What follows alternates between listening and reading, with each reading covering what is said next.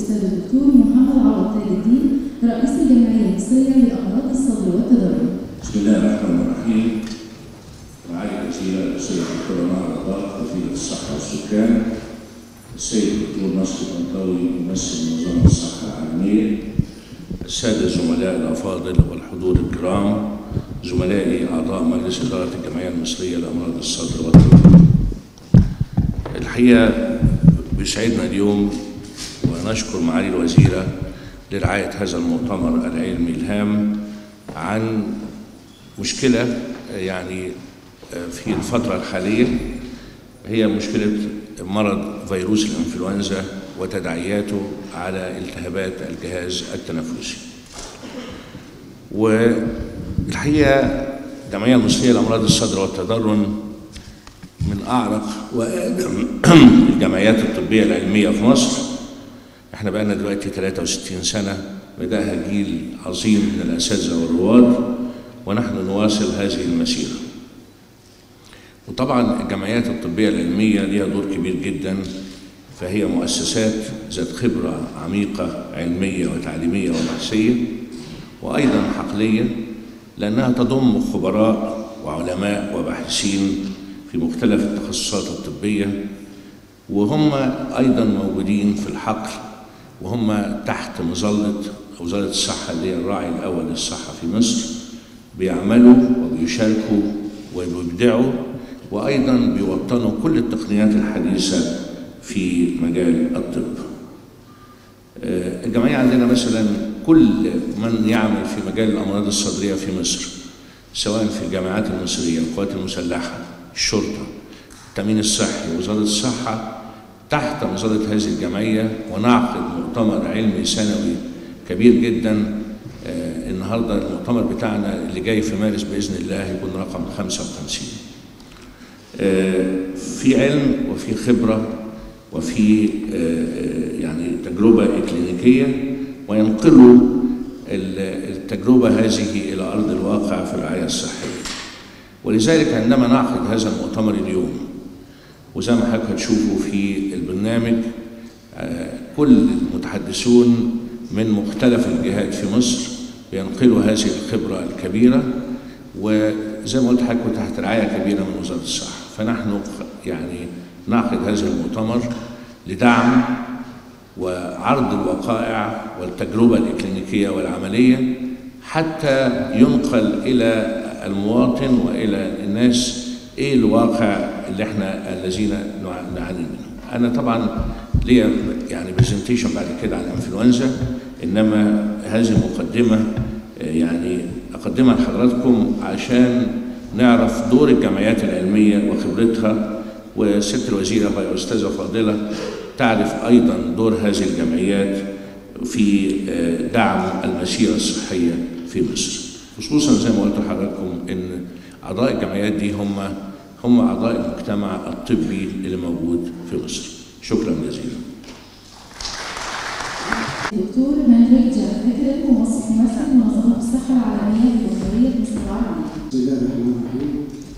يعني يسعد منظمة الصحة العالمية كمان اليوم مع حضراتكم ونشكر بصفة خاصة معالي وزيرة الصحة دكتور الفرج ونشكر الأستاذ الدكتور محمد عمر الدين ونشكركم حضراتكم جميعا لأن الاستجابة للمواقف المهمة إدارة صحة المواطنين شيء مش غريب عن وزارة الصحة الحقيقة وجميع الخبرات الكبيرة اللي موجودة في مصر.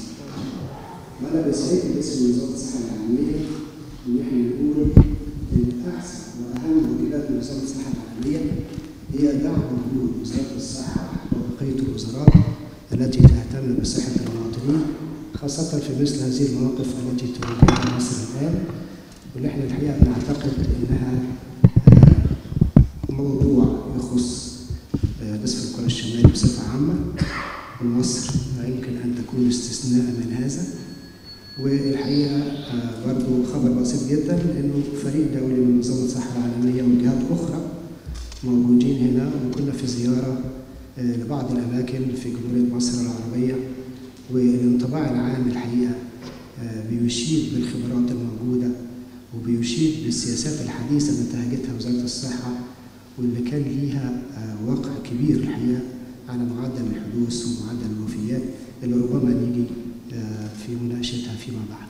بشكر حضراتكم وبنشكر الدعوة الكريمة من وزارة الصحة العالمية.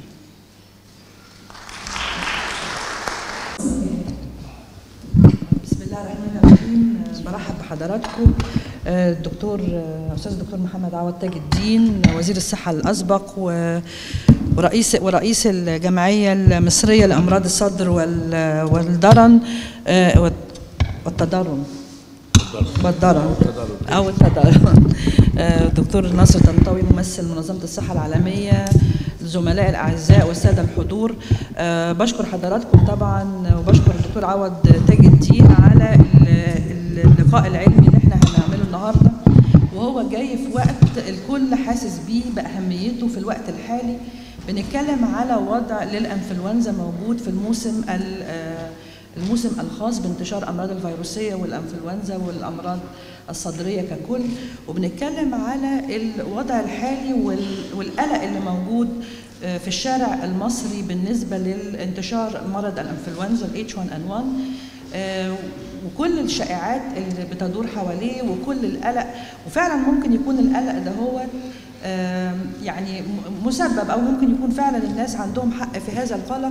فإحنا بوجود هذه الندوات وهذه اللقاءات العلمية إحنا بنحاول إن إحنا نرد بطريقة علمية لكل المخاوف على كل المخاوف وعلى كل التساؤلات اللي بتدور في الشارع المصري وفي نفس الوقت بطريقة علمية وبطريقة ممنهجة. بنقدر نقول إيه الوضع اللي إحنا موجودين فيه دلوقتي؟ إيه هي التصورات المستقبلية؟ إحنا متوقعين إيه؟ إيه الوضع المصري أو في آه، في جمهورية مصر العربية بالمقارنة بالوضع العالمي وهل إحنا في وضع مختلف ولا إحنا بنتماشى مع كل الأنماط العالمية؟ بنتكلم برضو بناحية بطريقة منهجية وبطريقة علمية عن آه، أمراض الأنفلونزا وبنتكلم عن التهاب الجهاز التنفسي. وبرضه عايزين إن إحنا نركز جدا في هذا اللقاء على الإجراءات التي تتبع في المستشفيات وفي أماكن تقديم الخدمة الإجراءات اللي هي بنتكلم بنقول نتمنى إن هي تكون موحدة تتوحد آه، بين جميع الجهات المقدمة للخدمة سواء كانت القطاع العام القطاع الحكومي القطاع في الجيش في الشرطة بنتكلم على المستشفيات الجامعية. وبرضه عايزين نتكلم عن الوضع إيه هي الموارد المتاحة عندنا؟ وهل فعلا آه، بنرد على الشائعات اللي بتقول في الموارد غير متاحة؟ بنتكلم على أدوية جايز بيتقال إن هي منتهية الصلاحية بنتكلم على مستلزمات كل الحاجات دهيت عايزين نرد عليها بس المهم جدا هو إن إحنا نوضح بطريقة علمية إيه هو مرض الأنفلونزا وإيه هي الالتهابات الجهاز التنفسي المصاحب وفي نفس الوقت نشوف الخبرات العملية من الأساتذة آه، ال- اللي هيقدموا لنا هذه العروض وإن شاء الله في الآخر نقدر إن إحنا نتوصل إلى صيغة صيغة علمية وإعلامية نقدر إن إحنا نخاطب بيها الشارع المصري. آه، هنقول إن إحنا مش عايزينهم يقلقوا إنما في نفس الوقت هنقول إن إحنا في عندنا وضع يجب التعامل وياه بطريقة آه، علمية. وفي نفس الوقت بنقول إن في مسؤولية وفي مسؤولية متشاركة من الجميع للحماية وللوقاية وأيضا في العلاج. فخلينا دلوقتي نبدأ هذا اللقاء وأنا بشكر حضرتك يا فندم. آه، ودايما سباقين ودايما في مشاركة جيدة جدا بإذن الله حاليا ومستقبلا. وبشكر طبعا منظمة الصحة العالمية اللي هم ويانا برضو في خطوات آه، جيدة جدا. آه، وزي ما إحنا بنتعلم من منهم هم كمان متهيألي بنقل الخبرات من ال- آه، في خبرات وزارة الصحة آه، بتنقل أيضا إلى بلاد العالم آه، برضو عشان خاطر يكون في المشاركة في كل ما يتم وكل ما يدور على أرض الواقع. بشكر حضراتكم ونبدأ إن شاء الله ال- ال- العروض. شكرا ميرسي ليكم شكرا نبدأ البرنامج العلمي الأستاذ الدكتور محمد عوض تاج الدين أستاذ الأمراض الصدرية دكتور إبراهيم شمس. هعمل مقدمة عن مرض الإنفلونزا. وأنا على مدى حياتي بنتعامل مع حالات الإنفلونزا وبنقول دايما إحنا التخصص اللي كل الناس بتعطس معاه وبتكح معاه ما حدش بيجي لنا ما بيكحش ما حدش بيجي ما بيعطس وعشان كده دائما أقول للمرضى الإنفلونزا مرض بسيط لكنه خطير وخلي بالك الإنفلونزا ممكن تعدي في 90% من الحالات أو 85% من الحالات من غير أي مشاكل لكن أيضا ممكن تؤدي إلى مشاكل خطيرة. آخر كلام في الانفلونزا الكلام ده أنا قلته قبل كده إن في ديسمبر 2013 ال CDC ده اللي هو Center of Disease Control اللي هو مركز التحكم في الأمراض والوقاية وده موجود في أتلانتا في جورجيا في الولايات المتحدة الأمريكية. هو صحيح في أمريكا في أمريكا لكن بيعمل نوع من الترقب في جميع أنحاء العالم. قال إن الإنفلونزا H1N1 وده نوع من أنواع الإنفلونزا وهقول لحضراتكم بعد شوية بالتفصيل منتشر أكتر وجنبه لو تلاحظوا كلمة بي يعني بندمج اللي هو كان عمل قبل كده إنفلونزا الخنازير في 2009 عشان كده الناس ما زالت في دماغها هي إنفلونزا الخنازير. هو ده الفيروس عندما خرج من الخنازير وراح للبني آدمين وتلاقح مع بتوع الطيور عمل نوع أو شكل فيروسي اسمه H1N1 بيديله البي اللي هو كان قبل كده بانديميك لكن خلاص كلمة انفلونزا الخنازير ما بقتش موجود. قالوا إن في نشاط لهذا الفيروس موجود في ال season بتاع 2013 2014 ال season بتاع الإنفلونزا زي ال season بتاع المدارس. نقول مثلا 2012 2013 2013 2014 لأنه بياخد الشتاء من أول أكتوبر لغاية مارس. فقالوا في نشاط لهذا الفيروس زائد. ولاحظوا أيضا إن في substantial morbidity and mortality each year في ال States 2012 2013 وعملوا estimation وقالوا اللي أنا موجوده بالاحمر دي إن في 380 ألف انفلونزا associated hospitalization يعني في 380 ألف حالة دخلت المستشفيات في أمريكا نتيجة للإنفلونزا. آه ال spectrum of illness observed في الوقت ده في 2013 و14 قالوا إن هو بيجي من من mild to severe mild يعني بسيط و moderate متوسط و severe يعني شديد. يبقى الحالات في حالات بسيطة وحالات متوسطة وحالات شديدة. إحنا بنشوف كده في مصر؟ طبعا. بنشوف حالات بسيطة جدا. واحد بياخد إنفلونزا وعمال يعطس ويرشح ويكح ويروح البيت ويروح المدرسة ويروح الشغل ما فيش مشكلة. لكن أيضا ساعات بتبقى متوسطة. غصب عنه بيقعد في البيت. وساعات بتبقى شديدة. يعني نفس الإنفلونزا ونفس الفيروس لأنه بيتعامل مع بني آدمين بيتعامل مع جسم إنسان الجسم الإنسان ده قد يكون في حاجة جوه موجودة قد يكون في مرض آخر موجود لكن نفس المرض ونفس الفيروس ممكن يتراوح من بسيط إلى متوسط إلى شديد.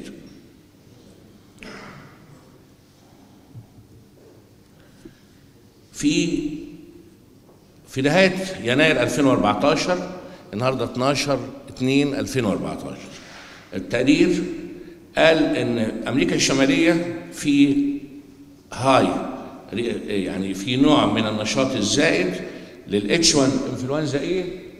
H1N1 pandemic 2009 يعني الفيروس اللي كان موجود في 2009 اللي هو H1N1 لاحظوا إن في نشاط زائد موجود دلوقتي. في أوروبا في increase برضه في الحالات دي موجودة.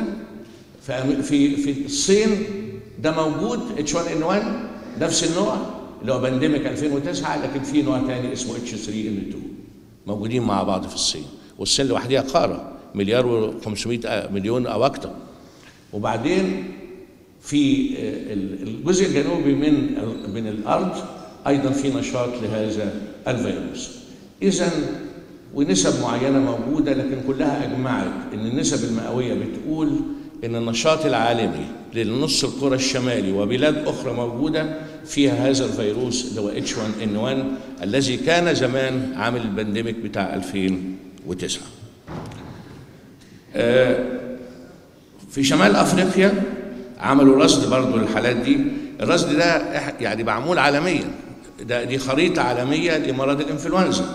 قالوا برضو إن مصر فيها H1A اللي هو فيروس A زي ما هقول لكم بعد شوية والنوع بتاعه H1N1 وفي بعض البلاد زي تركيا في H3N2 أيضا. إيه مرض الإنفلونزا؟ مرض معدي للغاية highly infectious viral disease.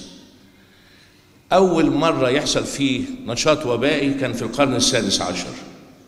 وأول مرة تم اكتشاف هذا الفيروس كان سنة 1933 إيه أعراض الإنفلونزا؟ السخونية فيفر تشيلز رش الجسم بيرتعش صداع هيدك آلام في الجسم ساعات بتبقى شديدة للغاية اللي يقول لك جسمي مكسر. هو عضو ما اتكسرش لكن جسمه مكسر دي أعراض عامة. وجع في الزور وساعات بيبقى شديد جدا وملاحظ السنة دي كلنا شفنا إن وجع الزور بيبقى شديد جدا اللي هو السور ثروت وبعدين في بعض الحالات ودي شفناها أيضا نفس الفيروس ده بيبقى معاه آه، آه، قيء vomiting و diarrhea اسهال. وبعدين شوف ال statement بتقول ده statement عالمية مش إحنا اللي بنقولها. Many deaths يعني وفيات كثيرة has been attributed to influenza. وعلى فكرة أنا كان في خريطة ممكن أبقى أجيبها لكم بعد كده بتتكلم ما هي أكثر الأمراض بتؤدي إلى الوفاة في العالم خريطة في العالم قد إيه. في أمراض المخ والأعصاب القلب والأوعية الدموية وبعد cancer على فكرة ال respiratory tract infection اللي هي التهابات الجهاز التنفسي من أكثر نسب الأمراض قاتلة في العالم. ترتيبها ثلاثة أو أربعة. اذا هذا معروف إن التهابات الجهاز التنفسي قد تؤدي إلى مشاكل كثيرة.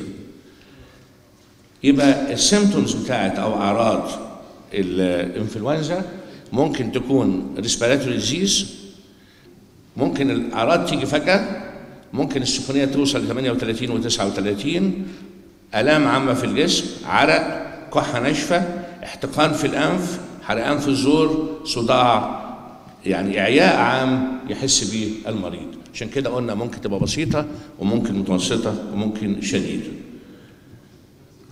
في كل سنة في العالم كله البرن انفلونزا يعني الانفلونزا ممكن تؤدي إلى إيه؟ 10 ل 20% من سكان العالم كل سنة بيجي لهم انفلونزا وأعتقد لو إحنا حسبناها لحضراتكم دلوقتي لو كل واحد كتب دلوقتي مين اللي جاله انفلونزا السنة دي هنجد على الأقل 10 20% جالهم انفلونزا في 200 ألف دخول مستشفيات أكثر كل سنة نتيجة للإنفلونزا الأشخاص اللي أقل من خمسة اللي أكثر من 65 سنة وأقل من سنتين الأطفال بيبقى عندهم احتمالية خطورة أكثر يعني كل ما كان الشخص أكثر من 65 سنة وأقل من سنتين احتمال الخطورة أكثر.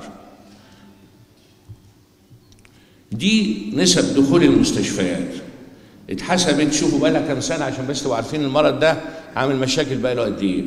اتحسبت من سنة 72 ل 2004 عدد اللي دخلوا المستشفيات لكل 100 ألف من السكان حسب السن وحسب الخطورة أكتر ولا لأ. لو كانت الخطورة أكتر هتجد مثلا من سن صفر اللي لسه المواليد ل 11 شهر أقل من سنة دخل هنا 808 808 حالة كل قد إيه؟ لكل 100 ألف. لو كان ال risk عالي لو كان ال risk قليل هيبقى ربعهم تقريبا. لغاية ما نوصل إلى أكثر من 65 سنة هنجد هنا 507 حالة وهنا 182 حالة. يبقى اللي عنده risk أكتر يعني إيه هو اللي عنده risk أكتر؟ اللي عنده أمراض أخرى اللي عنده أمراض في الصدر اللي عنده أمراض في الكلى اللي عنده أمراض في القلب اللي عنده سكر وهكذا. إحنا بنعتذر لهم لكن مع الأسف هم دول عندهم احتمالية مشاكل أكتر. فشوفوا دي نسب دخول المستشفيات محسوبة على مدى التاريخ من 72 ل 2004 كل ما ال risk زاد كل ما عدد دخول المستشفيات زاد ال 808 دول لكل 100 ألف من السكان. يعني لو كنا 90 مليون اضربوا بقى يشوف كم واحد يبقى high risk مين اللي يجي له انفلونزا؟ مين اللي عنده احتمالية يجي له انفلونزا؟ مين عنده خطورة يجي له انفلونزا؟ كل أي أي إنسان أي إنسان في أي بلد على وجه البسيطة ممكن يجي له انفلونزا ما فيش حد محصن ضد الإنفلونزا مين هو اللي أكتر عنده ريسك أكتر أو عنده احتمالية خطورة أكتر اللي أكتر من 65 سنة اللي عنده مرض مزمن زي ما قلت ربو الشعبي مرض مزمن في الرئتين مرض مزمن في القلب أو الأطفال حوالين خمس سنين أو أقل.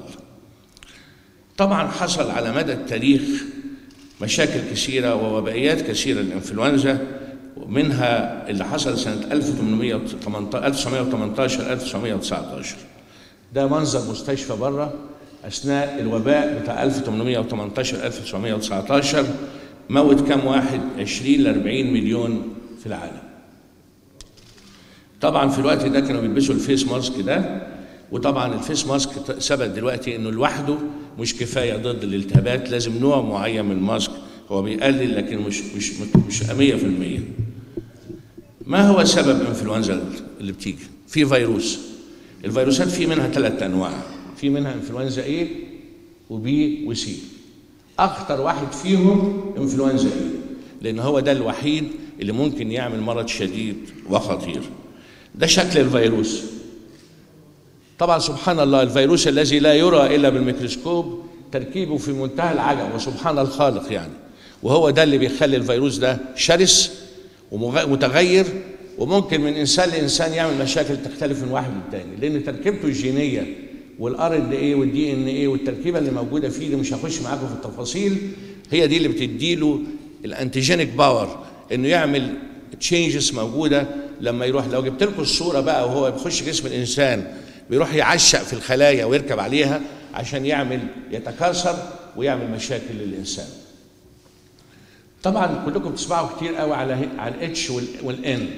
الإتش دي اللي هي دي ال hemagglutinin وال N neuraminidase وهم دول على أساسهم بيتصنف الفيروس إلى أنواع كثيرة وأخطر واحد فيهم زي ما قلت لكم هو إنفلونزا A. هنا ادي الإنفلونزا A فيروس بقى شخصيا والاتش بتاعته والان والاي والنيوكليوتايدز والهيماجلوتينينز اللي موجودة فيه اللي كل واحدة فيهم وعشان كده الناس بتسأل هو الفيروس بيتغير ليه؟ هو ساعات يبقى شديد وساعات بسيط ليه؟ لأن الشكل الجيني بتاع هذا الفيروس بيديله هذه الميزة. طبعا إنفلونزا إيه فيروس ما حدش يقدر يمنعه ابدا، ما حدش يقدر يقضي عليه. يعني ما نقولش هنقضي عليه مثلا زي ما قضينا على أمراض كثيرة مزمنة، ليه بقى؟ لأنه بينتقل من البني آدمين إلى الطيور إلى الحيوانات إلى الخنازير إلى القطط إلى الكلاب إلى الحصنه إلى أي حد. كلهم عندهم أمراض وهذه الأمراض ممكن تنتقل من من من حيوان أو أو أو طائر إلى الإنسان والعكس. وعندما تنتقل هذه الفيروسات بيحصل لها تحول جيني وتغير شكلها وده اللي حصل لما راحت من الخنازير إلى الطيور ثم إلى البني آدمين. لكلمة السيد الدكتور عمرو أندير رئيس قطاع الشؤون الوقائية بوزارة الصحة والسكان. بسم الله الرحمن الرحيم. معالي الوزيرة الأستاذة الدكتورة مها رباط أستاذي الأستاذ الدكتور محمد عوض تاج الدين وزير الصحة الأسبق دكتور ناصر طنطاوي مصر منظمة الصحة العالمية. أنا سريعا كده هقول عندنا في مصر دلوقتي إيه هو الوضع الحالي لمرض الإنفلونزا. إحنا عندنا منظومة لترصد الانفلونزا هذه المنظومة مش لسه بادئه هذه السنة ولا العام الماضي. منظومة ترصد الانفلونزا بدأت في وزارة الصحة من سنة 1999 في نظام لترصد لأعراض شبيهة بالإنفلونزا في بعض المستشفيات وفي منظومة لترصد الامراض في الجهاز التنفسي الشديد في بعض المستشفيات الأخرى وعندنا منظومة أخرى لترصد الحالات المترددين باعراض شبيهة بالإنفلونزا على مستوى مستشفيات مصر كلها وأعداد المترددين اللي بيتحجزوا في المستشفيات فيما يخص حالات التهاب التنفسي الشديد وحالات الالتهابات الرئوية. اولا نتكلم على الموقف العالمي للإنفلونزا وإيه الوضع في العالم سريعا كده وبعد كده نخش نتكلم على اللي بيحصل عندنا في مصر وطبعا أستاذنا الدكتور عوض تاج الدين قال الحاجات ديت بعض الحاجات فيها بس اللي عاوز أقوله إن في آخر تقرير طلع من ال CDC في 1 فبراير 1 فبراير يعني من أيام قال نشاط الإنفلونزا مرتفع. قال إن نسبة 19% تقريبا أو 20% من الحالات اللي عندها أعراض شبيهة للإنفلونزا طلعوا عندهم معمليا مؤكدين إن هم إنفلونزا. نخلي بالنا بس من الأرقام دي. يعني 20% من الحالات اللي بتتردد على المستشفيات عندها أعراض شبيهة بالمستشفى بالإنفلونزا عندهم إنفلونزا موسمية. قالوا الوفيات نتيجة الإنفلونزا والالتهاب الرئوي أكتر من السنة اللي فاتت. قالوا إن معدل الحالات اللي بتتحجز في المستشفيات نتيجة أعراض تنفسية شديدة والتهابات رئوية 22 ونص لكل 100000 يعني لو بنتكلم في مليون شخص في مكان معين فبيتحجز منهم 225 شخص. أوكي؟ بيتحجزوا في المستشفيات بأعراض إنفلونزا والتهابات رئوية لكل مليون. آه قالوا إن نسبة الحالات الشبيهة بالإنفلونزا اللي عندها أعراض شبيهة بالإنفلونزا من إجمالي عدد المترددين على المستشفيات تمثل 3.2% آه التقرير دوت بتاع كندا. برضو هذا التقرير في 1 فبراير السنة دي. التقرير ده قال إن نشاط الإنفلونزا هو عندهم في كندا ممارسه لنشاط الإنفلونزا في الموسم السابق وقال نوع الفيروس السائد هو نوع الفيروس H1N1 هو ده النوع السائد. وقالوا أكتر فئة عمرية فيها إصابات اللي هي الفئة من 20 ل 64 سنة. وبعد كده قالوا إن هم عندهم في كندا حجزوا 2588 حالة okay؟ والمعدل ده كان أقل من المعدل بتاع السنة اللي فاتت توفي منهم حالات 138 حالة. ده في كندا. بعد كده آه، ده تقرير برضو من ال ECDC اللي هو مركز مكافحة آه، والتحكم في الأمراض بتاع أوروبا كلها.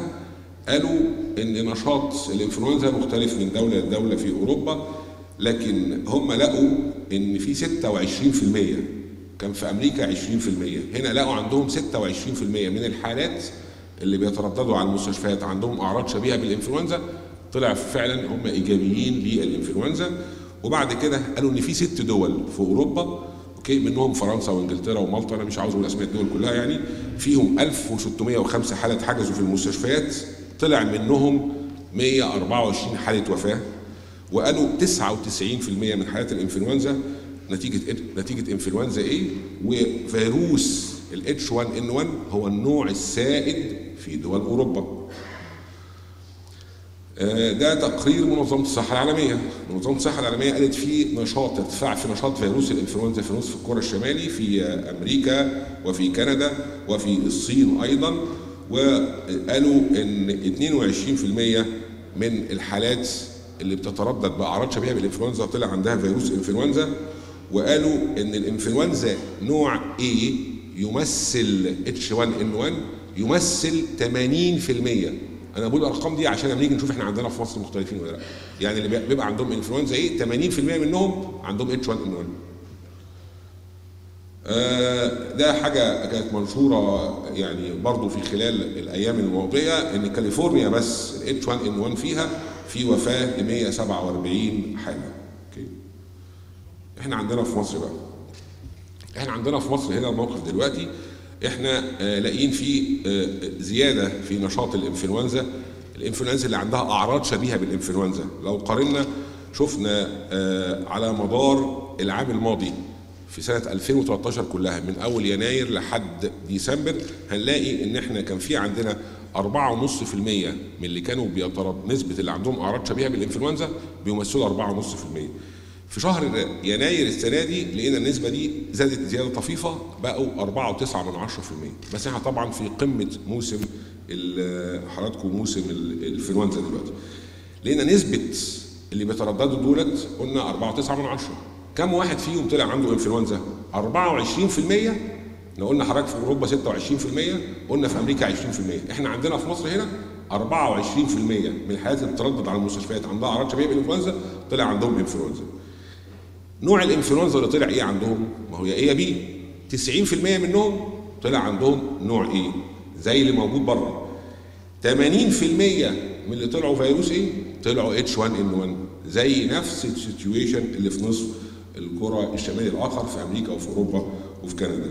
آه، الفئة العمرية أكثر فئة عمرية فيها بنلاقي فيها حالات H 1 N 1 هي من 15 ل 49 سنة. okay؟ دي حاجة بس estimation صغيرة كده، ده estimation يعني حاجة estimation عشان بس نبقى عارفة إحنا عندنا إيه.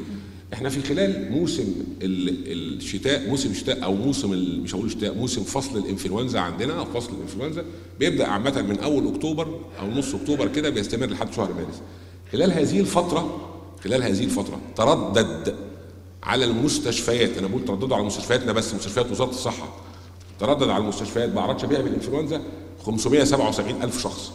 ده غير اللي راحوا عيادات خاصة غير اللي قعدوا في بيوتهم غير اللي راحوا مستشفيات جامعية. أنا بقول ترددوا عندنا. فهنعمل بس حسبة صغيرة كده. 577 ألف واحد دول ترددوا.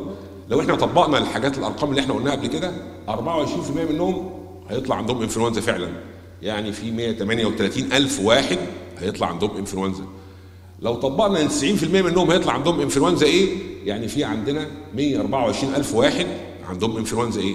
لو قلنا 80% منهم عندهم H 1 N 1 يعني حضرتك إحنا بنتكلم في عندنا 100 ألف حالة جاء عندها H 1 N 1 ده متوقع. وفين؟ خفوا وعادي. مرض بسيط. الناس خرجت. لكن في ولكن ولكن ولكن بقى اعمل إيه؟ ماشي. فدي الحالات estimation ولا بقول ترددوا على مستشفياتنا بس في الصحة.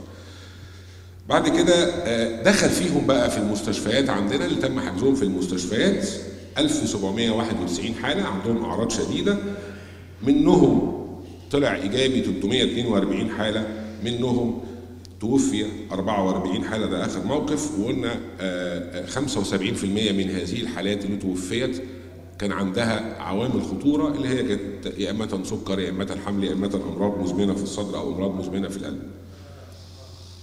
آه، دوت بيبين حضراتكم ال bar chart دوت بيبين آه، عدد حالات في أول واحد دوت بيبين عدد حالات اللي كان عندها أعراض شبيهة بالإنفلونزا في موسم موسم الشتاء اللي فات وموسم الشتاء دوت أو موسم الإنفلونزا اللي فات وده لو شفنا دي حالات اللي عندهم أعراض شبيهة بالإنفلونزا هنلاقي ده كان 557 ألف واحد عنده في الموسم الإنفلونزا السنة دي 577 ألف يعني زيادة طفيفة أوكي؟ حوالي 20 ألف. لو شفنا إن الناس اللي كان عندهم في موسم الإنفلونزا العام الماضي وموسم الإنفلونزا السنة دي السنة اللي فاتت كان عندنا 25718 عندهم أعراض تنفسية شديده السنة دي 26593 فالزياده برضو تقريبا حوالي 1000 1000 واحد من نتكلم 25000 لو شفنا حالات الالتهاب الرئوي حالات الالتهاب الرئوي إيه؟ في موسم الشتاء السنة دي قلت. بنتكلم في 1000 آه، 10073 حالة. نتكلم في السنة اللي فاتت 13917 حالة. ده مقارنة بالحالات بين العام دوت والعام موسم دوت والموسم السنة اللي فاتت. ده مهم جدا جدا جدا. عشان نبقى إحنا عارفين الاتش 1 ان 1 ده عندنا من زمان ولا هو لسه جاي دلوقتي ولا كان موجود قبل كده إيه؟ من أول 2009 لحد 2014 إحنا عندنا قلنا في عندنا منظومة لترصد الإنفلونزا من 1000 ده في فوق كده. الإنفلونزا المزمنه في المواقع بتاعت اللي عندهم أعراض شبيهة بالانفلونزا يعني في بعض المستشفيات على مستوى مصر اللي هم كان عندهم أعراض شبيهة بالانفلونزا اللون الأسود بيمثل اللي عندهم H 1 N 1 والأحمر بيمثل اللي عنده H 3 واللون الأزرق بيمثل اللي عنده flu B لو شفنا في 2009 هنلاقي أكتر حاجة لون إيه؟ الأسود وقت ما حصل الجائحه كان هو ده النوع السائد في الوقت ده من الإنفلونزا هو ده اللي عمل الإنفلونزا. okay؟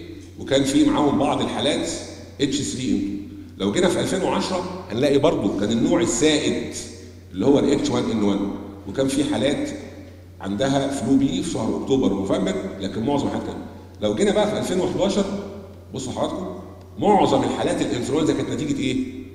H 3 N 2 حالات بسيطة قوي اللي كانت في ديسمبر كان في عندها H 1 هنيجي في 2000 حضراتكم 13 okay؟ 2013 معظم الحالات اللي كان عندها أنا بتكلم من أول حتى شهر يناير بتكلم من سنة زي ما كان استاذنا دلوقتي الدكتور عوض بيقول من شوية على حالة كانت في السنة اللي فاتت في في في مستشفيات عين شمس وكان عندها في شهر اثنين فأنا بتكلم يناير السنة اللي فاتت كان في عندنا اهو حالات حالات H 1 بس كان الأغلبية H 3 بعد كده في أكتوبر في عندنا حالات أكتر بتاعت ال H 1 بدات تبان لكن في حالات برضه H 3 ده في مواقع بعض مواقع المستشفيات عشان بس نبقى عارفين ده مش حاجة جديدة ده موجود. okay؟ لو جينا نشوف ده في بعض المستشفيات الأخرى اللي هي بنترصد فيها للأمراض الجهاز التنفسي الشديد. نفس الكلام. فهنلاقي في 2010 كان في و9 ما كانش فيه عندنا في هذه الأماكن في 8 9 لكن في 9 و10 ال H1 بدأ يكتر. في 10 و11 بعد حتى الجائحة كان النوع السائد هو ال H1N1 في السنة اللي بعديها النوع السائد هو الايه H3 في السنة السنة اللي فاتت بدأ يظهر تاني ال H1N1 بس كميات صغيرة. السنة دي ال H1N1 بدأ يظهر بكميات أكتر okay؟ دي في كل الحاجات اللي إحنا بنحللها في جميع المواقع وجميع المستشفيات. برضه هتلاقي برضه بيوضح جدا إن إحنا عندنا في 2009 و2010 كان في حالات كتير و2010 11 كان في حالات برضه. بصوا 12 11 12 بقت حالات صغيرة جدا لكن ال H3 هو اللي سائد 12 13 بدأ يزيد. السنة دي الموسم دوت أهو باين جدا جدا إيه هو ان النوع السائد اللي بيعمل انفلونزا هو الاتش 1 ان 1